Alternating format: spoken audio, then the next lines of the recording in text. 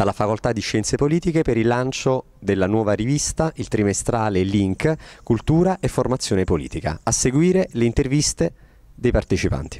Nelle edicole di Napoli e Avellino sbarca Link, un osservatorio di cronaca politica in un complicatissimo momento istituzionale. Beh, il momento istituzionale complicato non ci ha fermato certamente per la pubblicazione di questa eh, rivista che è a metà tra un libro e eh, di fatto una pubblicazione scientifica. Eh, chi la comprerà osserverà il fatto che pubblicità praticamente non ce n'è, quindi non è una rivista che si fonda sull'advertising ma sulla qualità dei contenuti e sulla qualità del comitato scientifico che è stato individuato. E in un momento anche di crisi dell'editoria, come avete sottolineato, è una sfida forse quella di lanciare questo trimestrale insomma, di informazione politica.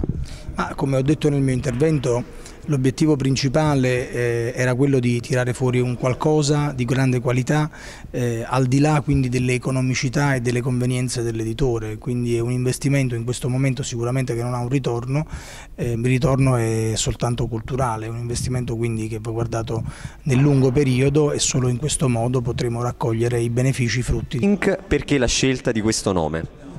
Eh beh, link è un duplice termine per noi importante per metterci in rete, però per metterci anche in un collegamento relazionale.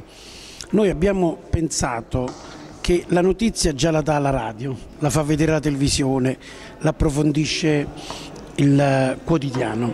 La rete spesso, come sappiamo, è inattendibile per oggettività, perché non cita la fonte, perché ci sono manomissioni. Abbiamo voluto mettere in campo uno strumento che vuole essere una scuola di comunità. Un domani per tanti giovani per tante persone, anche adulte, che vogliono sentirsi cittadinanza attiva in politica, perché la politica è una delle forme più alte, più nobili per costruire il bene comune, per togliere i poveri dalle povertà, per dare una risposta in termini sociali economici.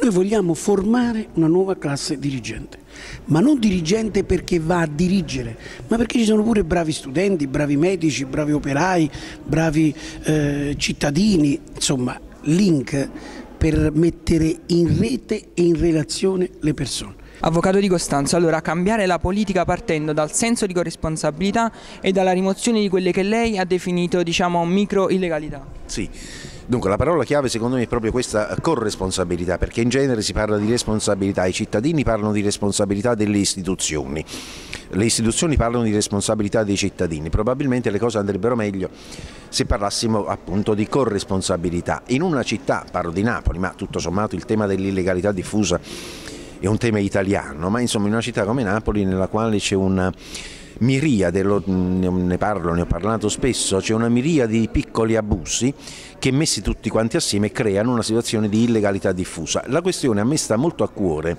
non tanto per una preoccupazione di tipo giuridico, legalità, non legalità, tant'è vero che io preferisco parlare di giustizia, perché legalità significa sostanzialmente il rispetto delle regole, ma ovviamente le regole devono essere giuste, quindi dovremmo parlare di giustizia.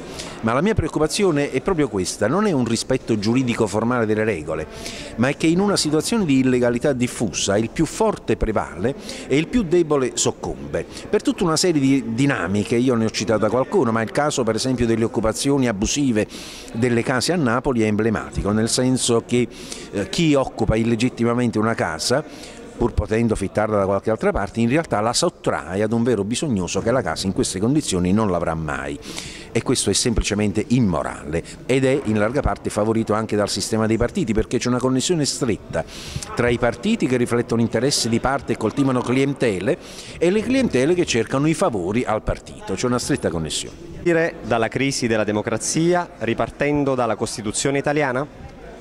Occorre innanzitutto ristabilire uno spirito di collaborazione fattiva tra gli schieramenti che sono usciti dalla consultazione elettorale e con un programma preciso, ampiamente condiviso, se non a volte plenariamente condiviso, per far cadere tutti i rami secchi che non tanto la Costituzione quanto la dialettica tra il sistema politico e la regola costituzionale ha eh, rivelato in questi ultimi decenni, a cominciare dal bicameralismo che va eliminato con uno dei rami secchi delle due Camere, con una eh, profonda trasformazione della giustizia, allineandola ai modelli presenti in tutto il mondo civile,